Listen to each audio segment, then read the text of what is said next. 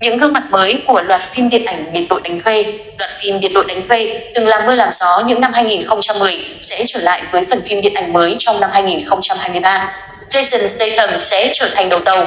Sau ba phần phim được dẫn dắt bởi gương mặt gạo cội Sylvester Stallone, phim đánh dấu lần đầu tiên Jason Statham thăng chức thành người dẫn dắt bộ phim.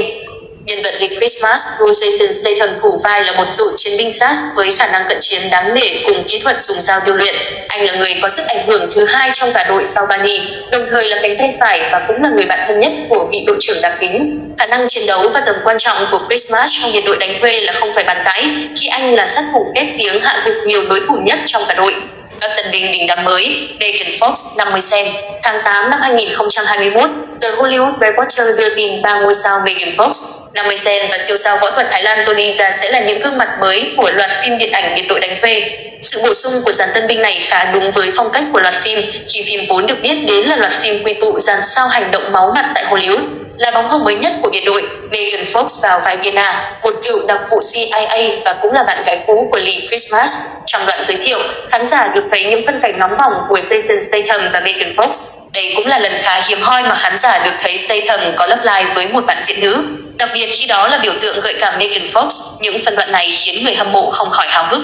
Thế nhưng, mỹ nhân của loạt phim Transformer sẽ không chỉ là người tình của nam chính trong biệt đội đánh thuê. Khác với phần nhiều những vai diễn trước đây của Fox, cô sẽ trở thành một phần quan trọng trong biệt đội tinh nhuệ lần này, thậm chí với vai trò được hé lộ là ngang ngửa Jason Statham. Những phần đoạn hành động mạnh mẽ nhưng không kém phần quyến rũ của Fox sẽ là làn gió mới cho phần phim tới đây.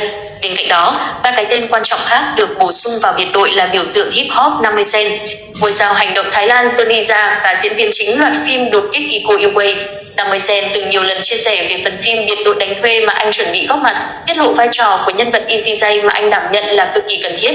Thậm chí, rapper này còn vui vẻ bình luận trên Instagram, đây là bộ phim của tôi nhé.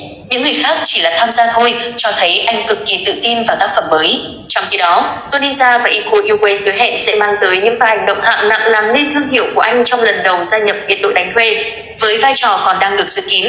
Trong Tết mới, còn có tài tử Andy Garcia của Bố Giang phần 3 khi ông vào vai một đặc vụ CIA. Cũng là người giao nhiệm vụ săn lùng phản diện Ramat và Ocelot cho biệt đội, quay lại với cốt lõi của biệt đội đánh thuê Mỗi phần phim biệt đội đánh thuê được biết đến với một đạo diễn khác nhau, mang đến các dấu ấn riêng biệt.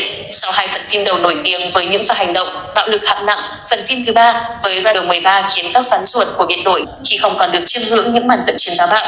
Nhưng ở phần thứ 4 sẽ do đạo diễn Scott Watt, người từng được biết đến với như ác ở Valor hay Need for Speed đảm nhận.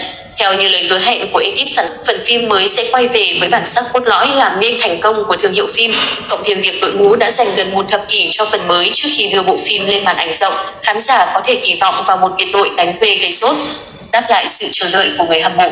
Phim khởi chiếu ngày 22 tháng 9.